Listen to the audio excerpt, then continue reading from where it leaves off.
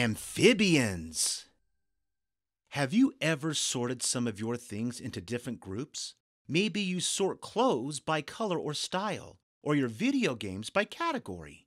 Scientists do the same thing with animals and other objects. All animals, including humans, have a few things in common. They are living organisms. They need food and energy to survive, move, and grow and they create more of their own, which means they have babies. Though they have a lot in common, there are also many differences between animals. When you see an insect like a mosquito or a butterfly, you know that it's different than a fish. You also know that a cougar is different from a snake. Because of these differences, all animals are classified or separated into special groups.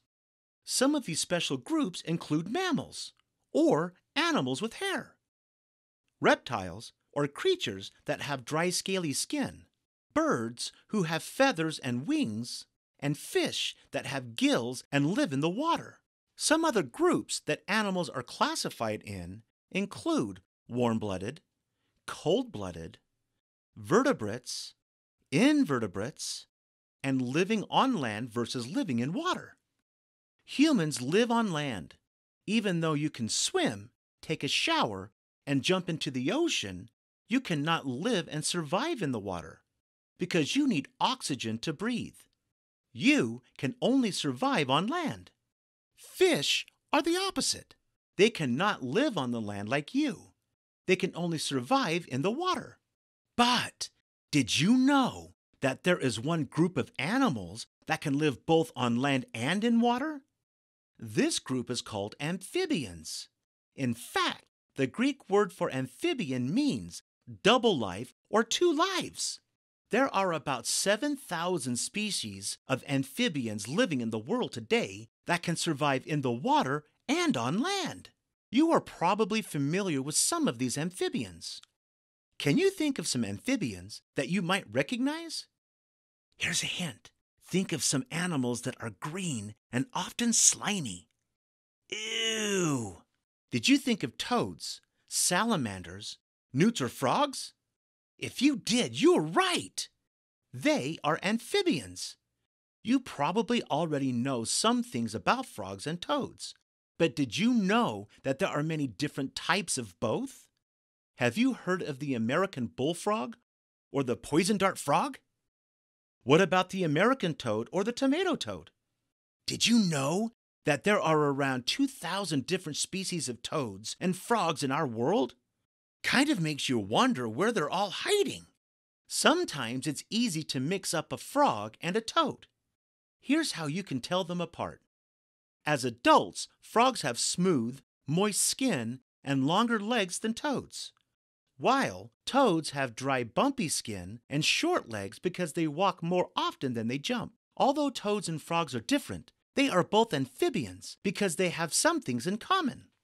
So, what makes an animal fit into the amphibian category? Well, it's simple. They each have characteristics that are the same, like webbed feet. They also have backbones called vertebrates, just like you do but their backbones are much smaller than humans. Every group of animals have certain characteristics in common. Some of those characteristics are included in other groups too, like humans and amphibians both having vertebrates or backbones.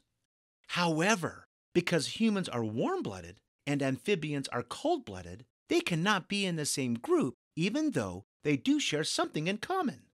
Cold blooded means that an amphibian's body temperature changes. If it's 60 degrees in the air or the water where they're living, then their bodies adapt and also become 60 degrees.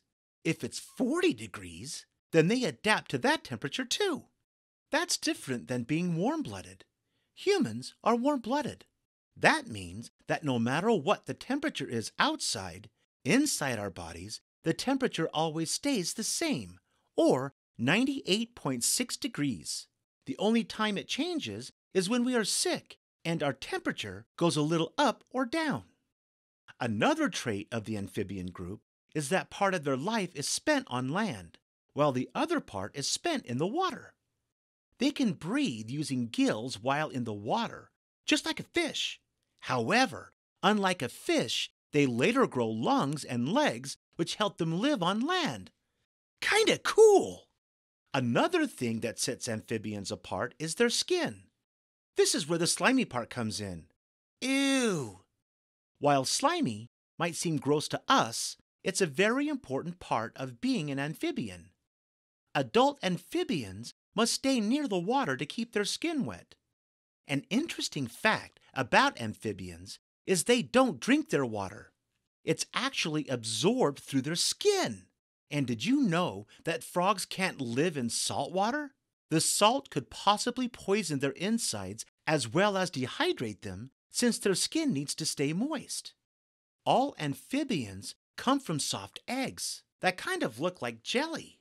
They go through a process called metamorphosis, which basically means they morph or change into something else as time passes. When amphibians are newly born, they look like fish with tails and gills. After a little while, they become tadpoles with two legs. The tadpoles change again and develop two more legs as well as a tail. They look like a small version of a frog, only with a tail. Finally, they become a full grown frog. Though all amphibians have common characteristics, frogs and toads lose their tails when they reach adulthood, while salamanders and newts keep their tails when they become adults. Salamanders and newts look like lizards without scales. A cool fact about newts and salamander is if they lose a limb, it will regenerate, which means it will grow back. Now that's pretty amazing. Another species of amphibian is called a caecilian. Caecilians do not have arms or legs. They use their pointed noses and strong skulls to burrow through mud. They look like worms or snakes, maybe even a bit scarier, especially since some of them grow to be over four feet long. Amphibians live in a wide range of habitats. They can be found in or around streams, forests, meadows, ponds, lakes, swamps, and other damp or wet areas. Their diet includes spiders, beetles, and worms. Some frogs have a long sticky tongue they flick to catch flies, moths, and other insects. Amphibians come in all sizes too. The Goliath frog can grow to be 15 inches long and weigh 8 pounds. That's as big as my cat. While the smallest frog in the world is only about a third of an inch long. That's about as wide as your pinky finger. On the other hand, the Chinese giant salamander can be six feet long and weigh 140 pounds. Can you imagine seeing that in a swamp? Amphibians are interesting animals with some neat facts. Did you know that some salamanders keep their gills and that frogs swallow their food whole? There's much more that can be learned about these fascinating animals, so don't stop here. The next time you are near some water, see if you can spot some of these incredible creatures we call amphibians. Thanks for following Clarendon Learning. Be sure to subscribe.